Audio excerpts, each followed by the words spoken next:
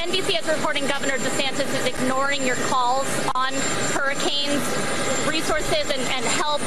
How does that hurt the situation here?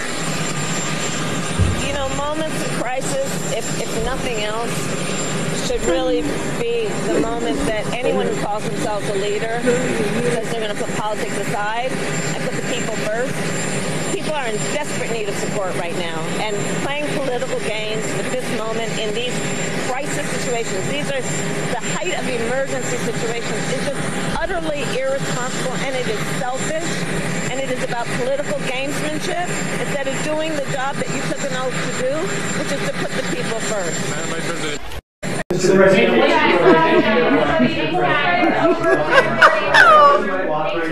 As far as everything you'd like to do. The governor of Florida has been cooperative. He said he's gotten all that he needs. I talked to him again yesterday, and I and I said, whatever.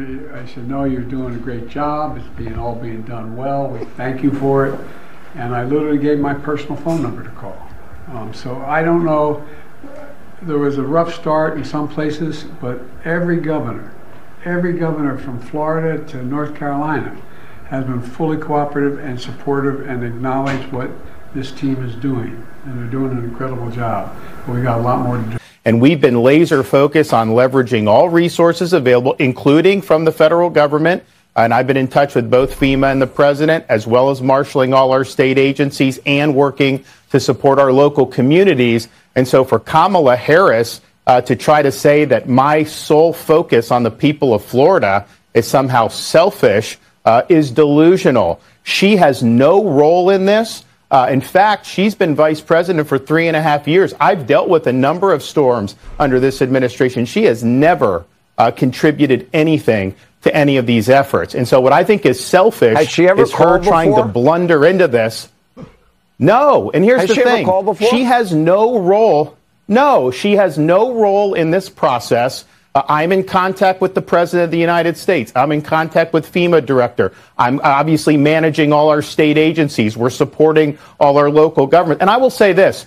I've had storms under both President Trump and President Biden, uh, and I've worked well with both of them. She's the first one who's trying to politicize the storm, and she's doing that just because of her campaign. She's trying to get some type of an edge. She knows she's she's doing poorly, and so she's playing these political games. I don't have time for political games. I've got peoples whose lives are on the line. I've got peoples whose homes and their possessions are on the line, and we are focused 100% on that mission. I'm not worried about playing her political games. And so she is being selfish by trying to blunder into this when we're working just fine.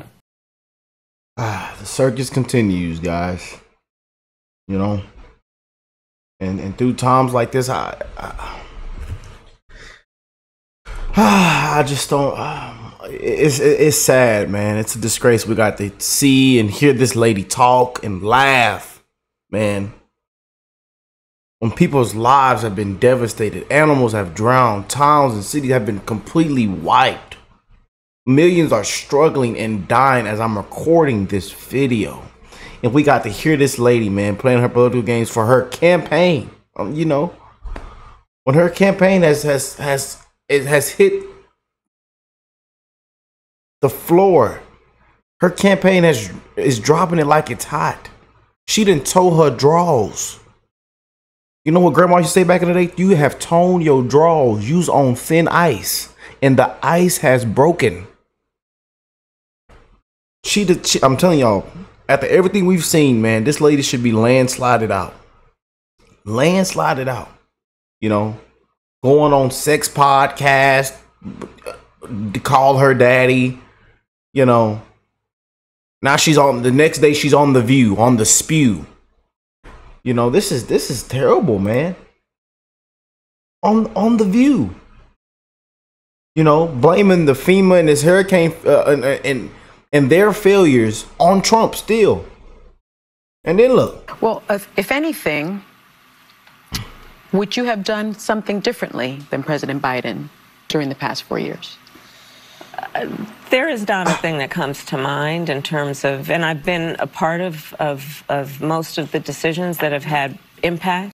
she should be landslided out. You don't, you don't deserve a promotion. You don't deserve didn't earn it. You know, they call you you know, they call you racist when you call out the truth when you say DEI. But hey, DEI didn't earn it. And from these last interviews and everything that we've seen this past year, I think she's drunk. Drunk entire inventory. Unqualified, not qualified. Sorry the party of lying, deranged women and beta men. Woke. Let's all stay woke. The party of the woke people. And look what look what woke has gotten everybody. Look what woke has look just look around. Look what look what woke has gotten everybody. Prayers, man, for America. Prayers for our hurricane victims. Prayers. It, we don't know what to expect. And I told y'all October was gonna be crazy. I told y'all, man. I told y'all. This lady deserves to be landslided out. I don't see how Trump did this isn't the worst performing Democrat in our lifetime. You know, and all I can do is show it to you. You shut out the Ron DeSantis, man. You know, you know, and she wants to play this political game. I mean, people lives, y'all. People, y'all seen what's been going on? I know y'all seen the, the videos, the pictures.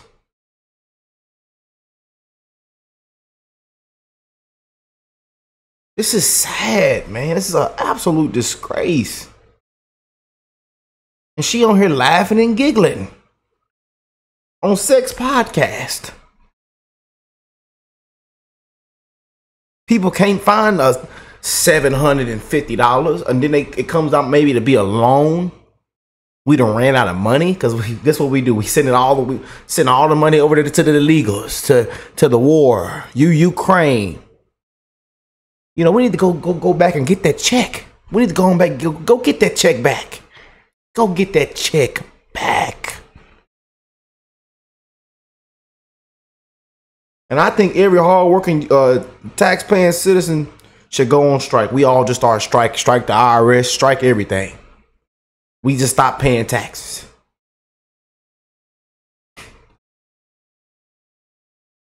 Because we the people come last, man. And people still clap for these failures and puppets. And as you've seen in these past interviews, she's completely bombed these softballs. He's edited 60 minute interviews, and I, I, recorded the 60 minute interview earlier. And guess what they do to us content creators? So they can protect Kamala Harris, Kamala, Comrade, Communist.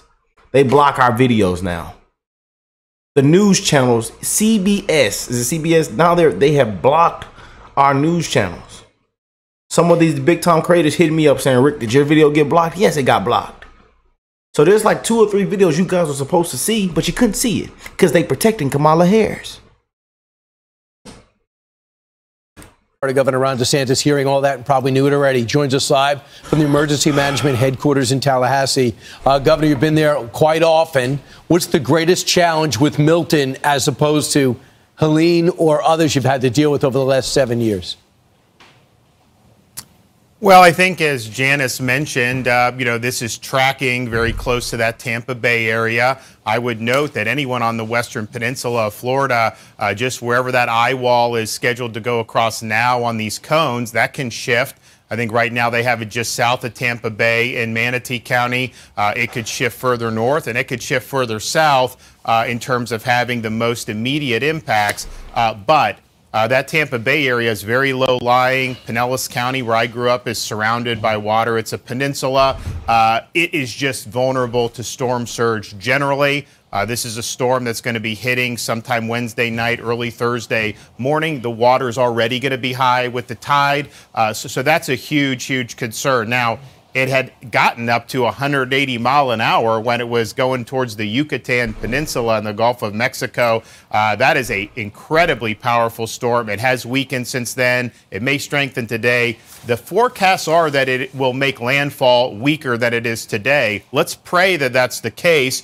Um, the surge is going to be a big enough problem, uh, and hopefully uh, uh, the winds are manageable. Most of the buildings in Florida are going to be able to handle a Category 3 storm. So there's a lot going on. And oh, by the way, we just had a Category 4 storm uh, impact a lot of people uh, up up the west coast of Florida. Uh, one of the issues that we saw in places like the Pinellas County beaches and Manatee County beaches was there was a lot of debris, and these local governments have to pick it up. They have contractors that do it, but it wasn't being done fast enough uh, so I did this weekend. I took all of our state agencies, any truck we had anywhere in the state who's involved in normal missions, uh, we diverted it over to those barrier islands. We're doing a 24 7 debris mission. So we've been able in 48 hours with our state assets be able to do as much debris removal um, as any of the contractors who've been doing this for almost two weeks. Wow. Uh, we actually had to pry open one of the landfills in Pinellas County because it wasn't operating 24 7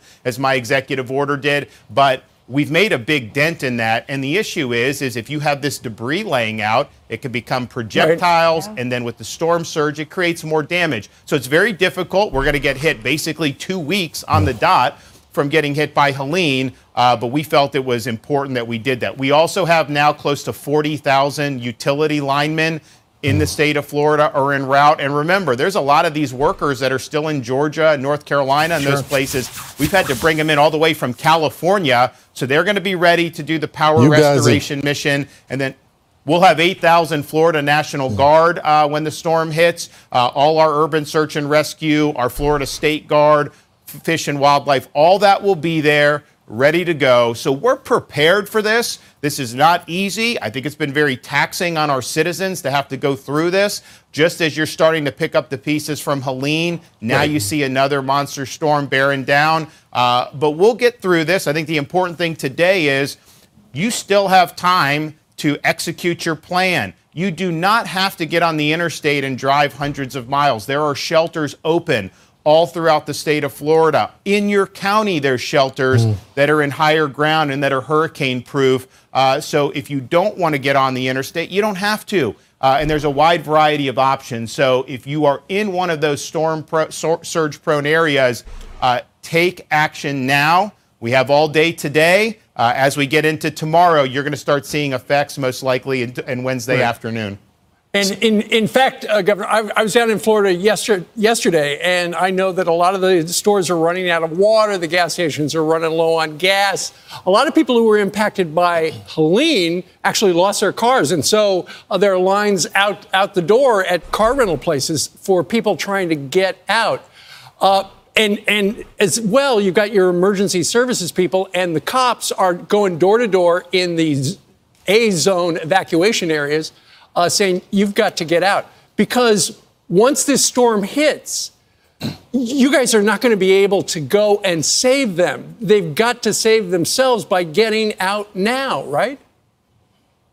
Yeah, and so on the transportation, because you raise a good point, uh, the counties are providing uh, transportation for folks that don't have it, and then the state has entered into an agreement with Uber. Uh, so if you need a ride to a shelter, uh, you can go on Uber. Um, you know, there's a That's there's awesome. a code for Milton Relief, uh, and so take advantage of that. Absolutely, I mean, you should do that. But yes, you, you run from the water and you hide from the wind. You know, if we end up with a Category Three storm, most of the places in Florida, particularly with our building codes, if you hunker down, in and of itself, you'll probably be okay. But the water, you just can't contend with Mother Nature. If you have yeah. 10 feet of that surging in, it is incredibly destructive. It is not something that, that you want to mess with. Uh, so there are options for you. You have time uh, to be able to do it. Um, and make sure that you are safe in your family. And oh, by the way, the pets too. All the yeah. all counties and Got shelters, it. you can they have at least one pet friendly shelter. We've actually evacuated some of the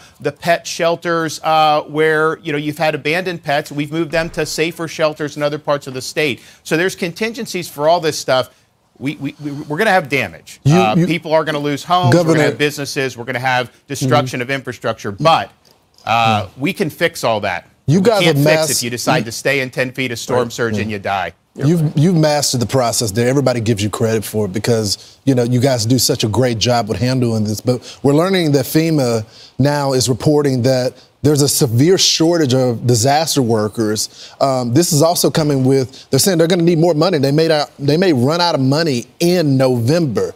So, what are your thoughts on that? And Are do you guys are you guys set in Florida to be able to cover your people even if FEMA won't have the money?